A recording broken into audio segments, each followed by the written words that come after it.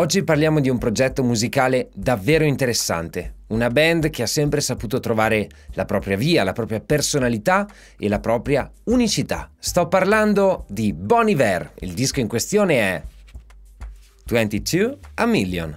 Questo progetto nasce da un'idea del cantautore Justin Vernon nel 2007 e già nel 2008 pubblicano il loro primo disco, dal carattere molto folk, molto intimista, ma da cui già possiamo riconoscere alcune caratteristiche che ancora oggi troviamo. Nel 2011 pubblicano il secondo disco, in cui abbiamo un approccio forse un po' più rock, ma sempre dal carattere molto folcloristico e con già dei riferimenti molto progressivi nel loro percorso, fino ad arrivare al 2014, in cui pubblicano il singolo Heavenly Father, che andrà a finire nel film Wish I Was Here. Chiaramente avendo pubblicato il disco precedente nel 2011 e avendo fatto uscire un singolo nel 2014, si vanno a creare delle voci di corridoio in cui si dice che probabilmente a breve sarebbe uscito il nuovo disco di questo progetto. In verità, toccherà aspettare fino all'autunno del 2016, in cui uscirà proprio questo disco, 22 a Million, un disco che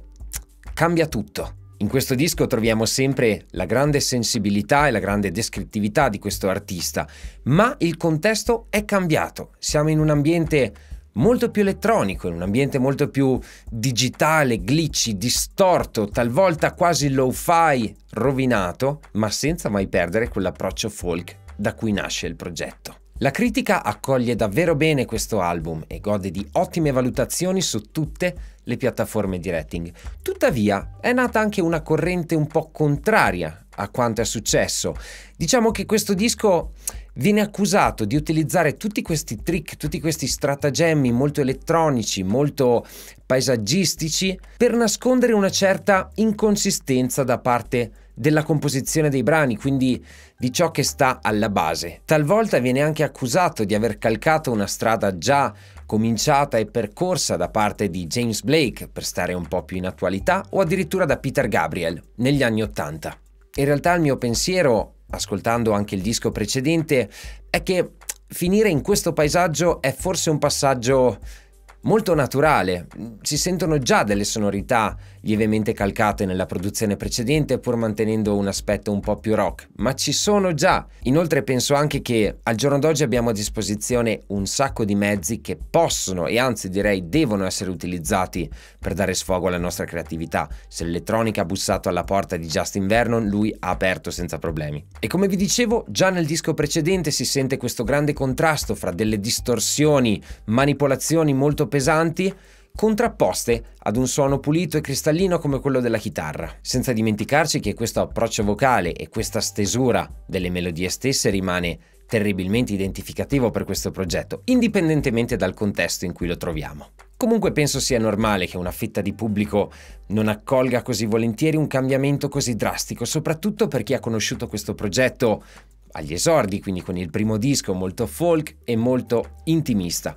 Ad ogni modo è accaduto qualcosa di simile a Bob Dylan negli anni 60, quando la prima volta si presentò in concerto con della musica rock, la gente non la prese bene, addirittura tiravano delle cose sul palco. Eppure direi che è un artista che in fin dei conti se l'è cavata bene. Vi ricordate il brano Hide and Seek del 2005, un brano di sola voce e vocoder? Ecco, nella traccia Creeks c'è qualcosa che ricorda proprio questo approccio. Però sono passati 11 anni e anche a livello di tecnologia è successo qualcosa. Justin Vernon infatti comincia a sentire l'esigenza di poter lavorare in maniera polifonica con la propria voce in live. Ovviamente in quel periodo non c'era un qualcosa che potesse in qualche modo duplicare, triplicare o quadruplicare la propria voce, decidendo al momento ogni voce quale linea melodica dovesse prendere. Per questo motivo chiede aiuto a Chris Messina, che riuscirà ad unire tutta una serie di componenti che gli permetteranno di fare questa cosa dal vivo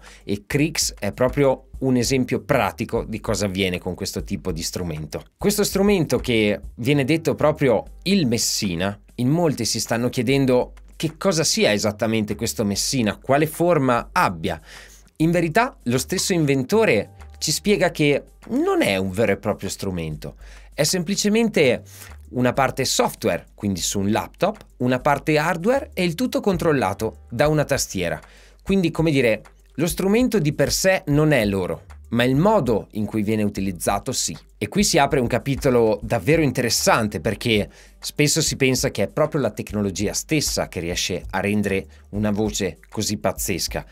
In verità deve esserci a monte un'ottima voce, una grande sensibilità e un'ottima espressività per rendere questo effetto. Vi assicuro che questo brano di sola voce e questo particolarissimo strumento sono davvero davvero devastanti. Fra l'altro la cosa interessante è che non ci passa solamente la voce, ci sono dei brani in cui c'è un sax che viene duplicato con questo strumento in diretta e non voglio nemmeno immaginare in fase di produzione quante cose abbiano fatto passare attraverso questo strumento nella ricerca del loro suono. Ecco, fra tutti questi brani che devo dire mi piacciono davvero molto, non saprei nemmeno da quale cominciare a raccontare, ovviamente ve lo lascerò ascoltare con calma. Comunque il quinto brano mi ha colpito molto, forse perché c'è ancora un po' di questa reminiscenza del folk che comunque non manca mai all'interno di queste produzioni. La chitarra la sentiamo sempre al centro, ma il paesaggio, come si diceva prima, cambia molto. C'è sempre un vento di elettronica che